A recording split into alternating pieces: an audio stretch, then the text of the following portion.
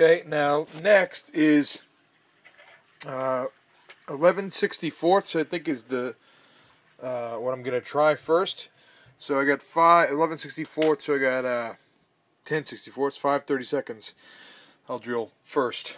So I've got a center drill in there, which will start the hole, the centered hole, and there, and I'll show you that bit.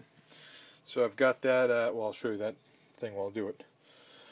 Got that mounted here in the tailstock, uh, and let's go. see, e-stop, forward,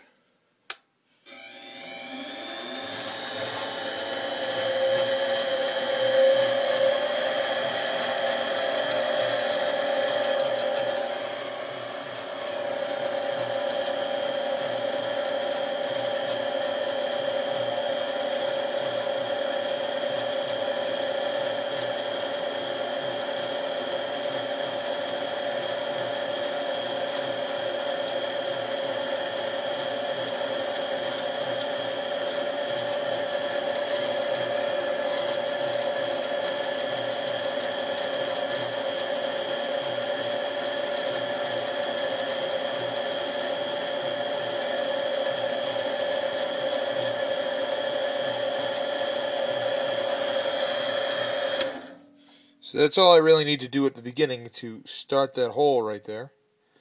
And that'll help center when I use a drill bit.